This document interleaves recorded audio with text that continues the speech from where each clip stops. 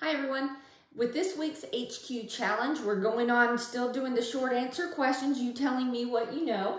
So, what is this airway and how does it work? This airway, you see you've got two independent lumina up here to ventilate through. This is called a double lumen endotracheal tube. Are you gonna see it that often? Mm, probably not. Maybe this is area dependent, but here in the Dallas-Fort Worth area, we don't see it a lot. Um, it's probably used more in the operating room for certain type of surgeries, but let me kind of show you how it works. What we have here is basically two tubes that are stuck together.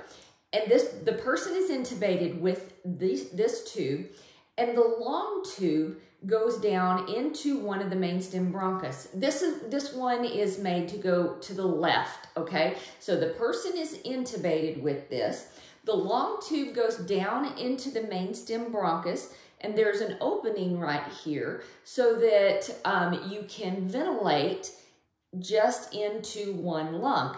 The shorter tube terminates right here and it sets right above the carina so that you can ventilate the other lung separately.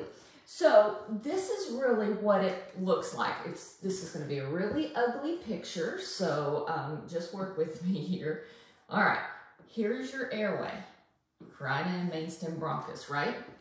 All right, so two tubes stuck together. I'm gonna just draw the first tube first. Okay, here's the first tube that's designed to go into the airway. All right, there's a little cuff that'll seal it off, and then you can bag separately to this one lung. Now, next to it,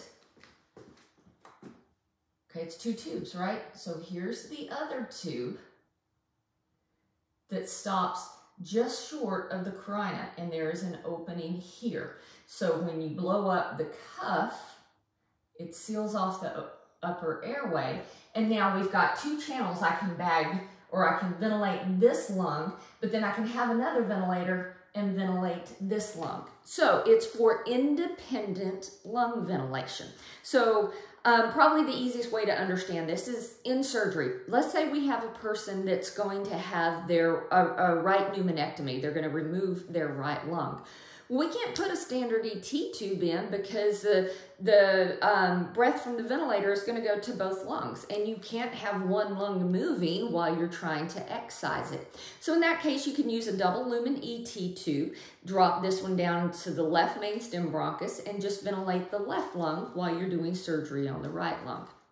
This can also be used um, in cases where somebody has a unilateral lung disease, that there is really, really bad compliance issues and the other lung is relatively normal. If you put a standard ET tube in and have that situation, all of the mechanical ventilated air is going to go to preferentially towards the good lung because it's easier to inflate and you'll have volume trauma or barotrauma because of that.